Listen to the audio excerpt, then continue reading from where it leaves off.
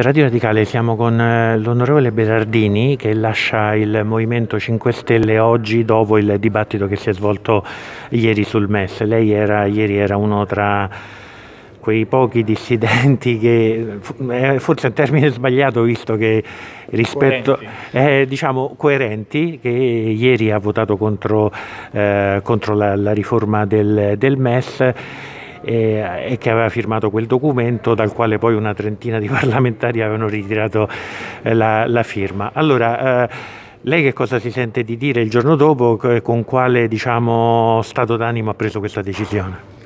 Beh, diciamo noi siamo stati molto male perché appunto non eravamo quattro gatti, ma siamo stati 13 deputati che hanno votato contro e 10 che non hanno partecipato al voto, quindi diciamo in totale 23 deputati, che è un numero molto considerevole. Noi abbiamo denunciato il fatto che non ci fosse stato il minimo coinvolgimento su questa tematica fondamentale del nostro programma, ma anzi si volesse far passare tutto diciamo, sotto traccia.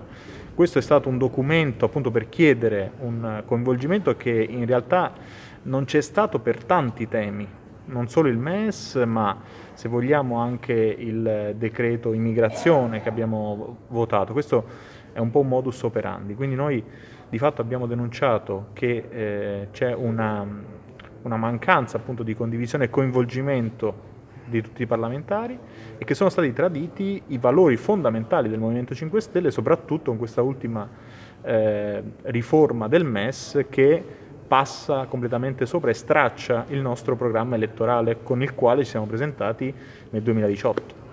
Senta, lei quando ieri durante il dibattito ha sentito la Meloni che diceva fatelo oggi il Vaffa eh, nei confronti del, del, delle cose che siete costretti a votare, che cosa pensate? Ma di fatto a noi non, non, ci interessa quello che dicono le altre forze politiche, anche di opposizione. Noi vogliamo, volevamo essere coerenti con il nostro programma perché poi addirittura noi avevamo un programma diciamo, dirompente, proprio di smantellamento e di liquidazione di questo strumento europeo e invece purtroppo siamo andati nella eh, strada completamente opposta, appunto completamente opposta. E non si dica che l'Italia, eh, siccome non prenderà questo MES, che è tutto da verificare, non avrà conseguenze negative, perché le conseguenze negative ci sono anche se l'Italia non prenderà questo MES. E questo va spiegato ai cittadini. Senta, voi adesso che cosa farete? Perché il numero dei parlamentari del Movimento 5 Stelle che ha lasciato il gruppo, o perché è stato espulso o perché se n'è andato, comincia a diventare consistente. Allora, voi come vi ponete di fronte a questa maggioranza che avete contestato con questo, con questo voto di ieri? Eh, noi abbiamo contestato eh, le decisioni prese dal Movimento 5 Stelle. Noi abbiamo detto che quello di ieri non era un voto contro il Presidente Conte, che noi apprezziamo per tante eh, battaglie che sta portando avanti e tanti risultati che ha ottenuto. Noi però vogliamo anche portare avanti anche i punti diciamo, i nostri valori con cui eravamo entrati nel Movimento 5 Stelle, quindi sicuramente lavoreremo anche con i colleghi del gruppo misto per cercare un dialogo con il Presidente Conte e con la maggioranza per portare avanti quelle determinate battaglie. Da qualche giorno fa, quando qualcun altro lasciò il Movimento 5 Stelle, Di Battista disse ma perché lasciate la battaglia continua ma deve essere condotta all'interno del Movimento 5 Stelle?